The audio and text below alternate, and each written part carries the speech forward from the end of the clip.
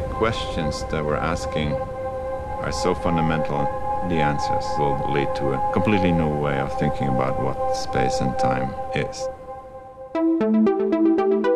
When Einstein put forward his theory of general relativity, it was a seminal moment in the history of science. If Einstein made a mistake, every subsequent theory that was rationalized to the core theory has the potential of being off.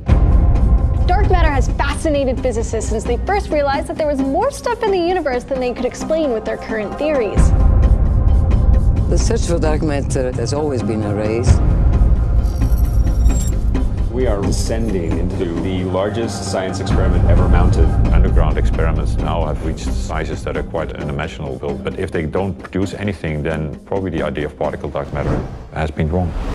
The breakthrough of the century. I now ask you to step forward to receive your Nobel Prizes. That's the fact that we're looking at the universe in a completely different way It's bound to teach us something. You have to be careful what you do in science because you have to think about your future career.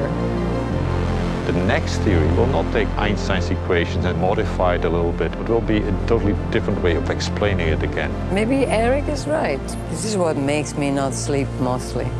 We are part of decades, centuries, generations long project to understand the fundamental underpinnings of the universe.